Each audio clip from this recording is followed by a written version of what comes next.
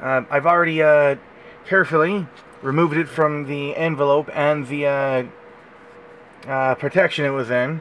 Put it in a uh, card holder, but um, this is from a YouTuber named Felzbug. Well, Felzbug is uh, how they say it, and uh, you, Felzbug, should do a collaboration with Gubslev. Uh, whenever you two can. Because that video will be great, just like this art that you sent me, uh, that I suggested you to, to draw. I love it. Words can't express how much I love it.